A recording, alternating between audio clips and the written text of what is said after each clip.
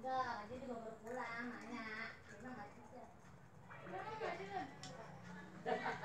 나는 돌아와서